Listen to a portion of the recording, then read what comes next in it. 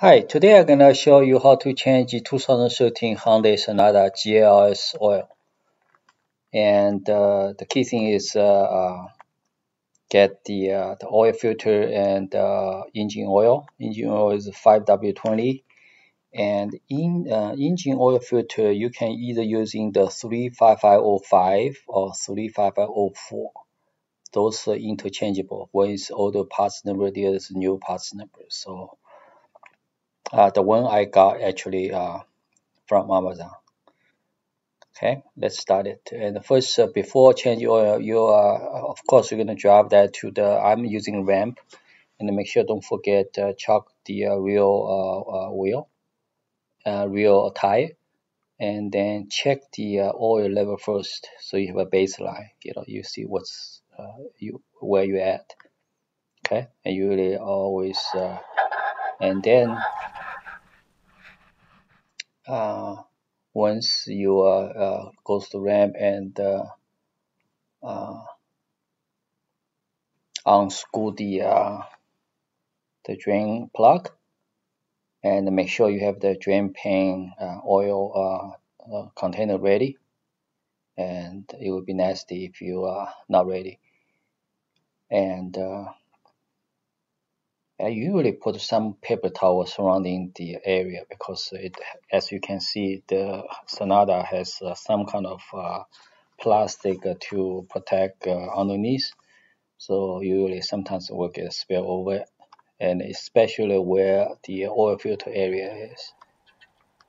And then once you finish drain, uh, I also forgot to make sure you are uh, the have the oil uh, uh, cap open. So you know get easy the uh, the oil drain gonna be uh, get easier. And then once you use the hand to uh, drain the drain, drain plug make sure wipe the surrounding area.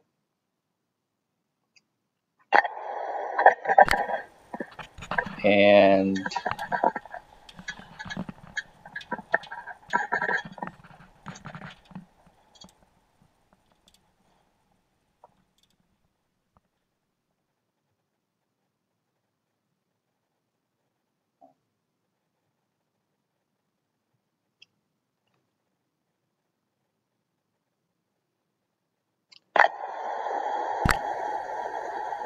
the most uh, uh, difficult job is remove the uh, the uh, engine oil filter. And uh, I have to put a plastic uh, you know bag around the surrounding make sure no spill. But you never know what's going you know happen. But just be prepared. And it has a lot of paper towel on you know get ready. And make sure wear glove and uh, once you lose the filter you, you can using hand you know to slowly to uh, to unwind counterclockwise. And when you install the new uh, filter you just using hand to uh, tie it.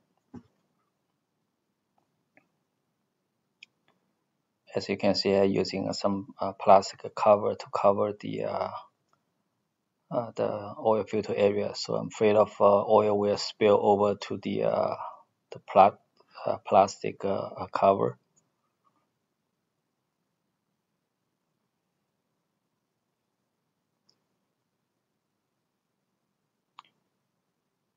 And make sure you don't wear long sleeve. so, yeah, after you remove it and make, make sure wipe out the oil and with new oil filter just make sure uh, dip the uh, uh, the existing old uh, oil and uh, on the surrounding gasket. So it make a good seal.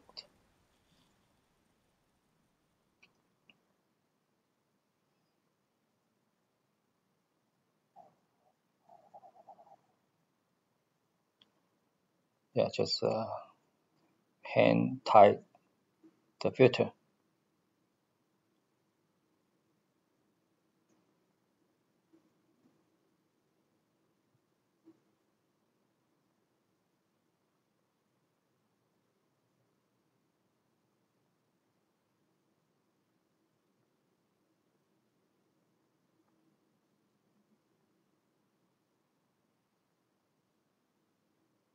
Let me show uh, wipe out the surrounding oil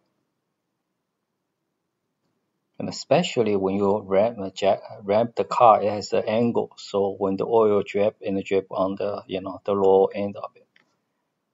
And uh, now you're ready to uh, pour the uh, five quarts oil. Usually I think every time I finish up all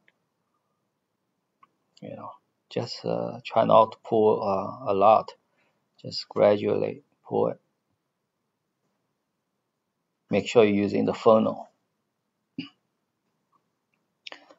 so leave around like a uh, over five and a half quarts and then start try to check the oil level and uh, gradually check. And don't over don't always when you change oil do not want to uh, overfill the engine oil. It's kind of uh, bad for the car. The dip switch is between the minimum and minimum. It's in the middle little above the max. That's where it is and after drive for a few days and check again.